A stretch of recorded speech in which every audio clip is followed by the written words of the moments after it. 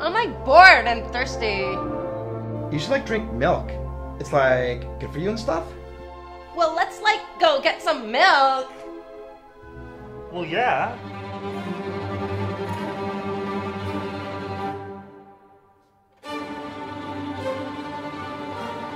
Hey guys, what's up? Oh my god, it's Judd. Judd? He's like milk intolerant. Let's kill him. Yeah.